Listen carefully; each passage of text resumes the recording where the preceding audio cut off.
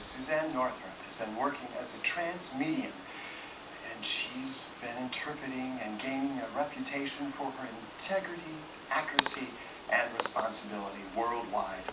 Her work has brought meaning to the messages from the loved ones who have passed on. And this gathering here today will be no exception. Ladies and gentlemen, please help me welcome Miss Suzanne Northrop.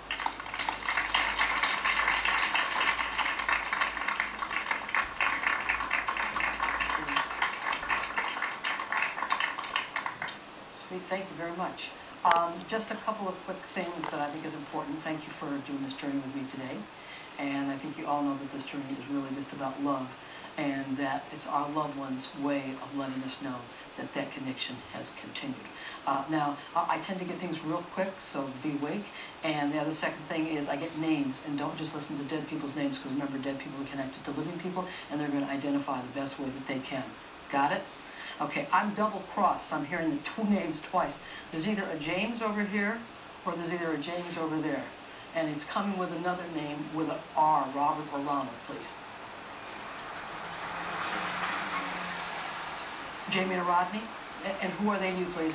Um, Jamie is my ex and Rodney is his father. Are they both passed? Uh, no, there's living. They're still living, okay.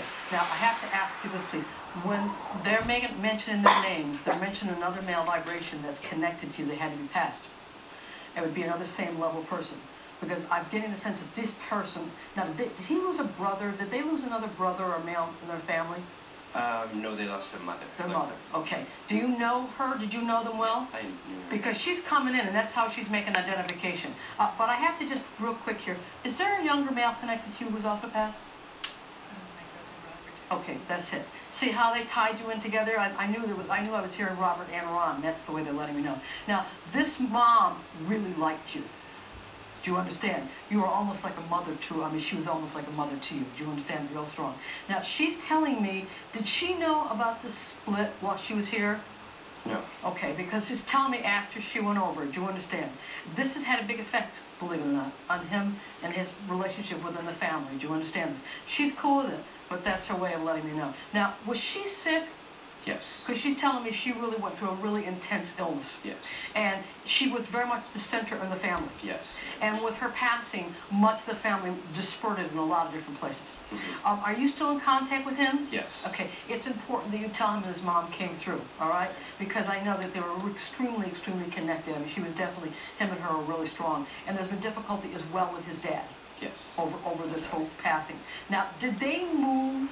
Um, the whole family kind of moved. Like the father is. because I feel like I'm dispersed. I mean, I feel like we're all over the place. And this has been very, very hard for your friend Yes. because he needs this sort of this connection.